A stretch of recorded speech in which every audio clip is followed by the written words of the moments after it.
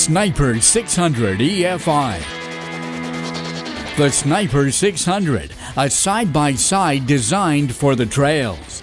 The Snyper 600 is powered by a 594cc engine that combines performance and fuel economy.